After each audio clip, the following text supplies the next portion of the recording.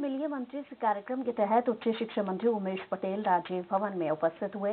मंत्री ने दोपहर तीन बजे से शाम पाँच बजे तक कांग्रेस के कार्यकर्ताओं, पदाधिकारियों और जन सामान्य से मुलाकात की। इस दौरान मंत्री ने अपने विभाग से संबंधित समस्याओं को सुना और निराकरण के लिए विभागीय अधिकारियों को निर्देशित भी किया।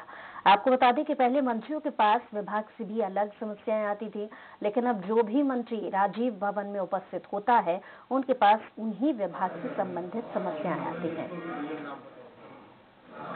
एडमिशन से रिलेटेड कुछ इश्यूज़ आए थे उनको देखा गया है उनको सॉल्व सॉल्व किया जाएगा। और आ, जो पेंशन से रिलेटेड कुछ इश्यूज़ बताए गए हैं तो उनको भी सॉल्व किया जाएगा रायपुर में मिलिए मंत्री से कार्यक्रम के दौरान उच्च शिक्षा मंत्री उमेश पटेल ने पत्रकारों से चर्चा के दौरान खेल विकास प्राधिकरण पर ज़ोर देने की बात कही है।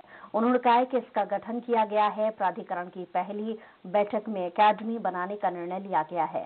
सीएस की अध्यक्षता में प्रस्ताव तैयार किया जाएगा और साथ ही पीपी मॉडल में एकेडमी बनाने के लिए भी प्रस्ताव तैयार किया जा रहा है, जिसे सरकार के समक्ष प्रस्तुत किया जाएगा। अंतर्राष्ट्रीय क्रिकेट हॉकी स्टेडियम के मुद्दे पर कहा कि खेल को लेकर छत्तीसगढ़ में इंफ्रास्ट्रक्चर अच्छा है, खिलाड़ियों को हर तरह की सुविधा मुहैया कराने के लिए सरकार योजना बना रही है।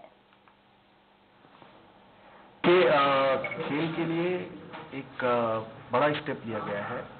ये है खेल विकास प्राधिकरण का गठन किया गया है। और खेल विकास प्राधिकरण की पहली बैठक हुई है, उसमें निर्णय किया गया है कि एकेडमी बनाया जाएगा।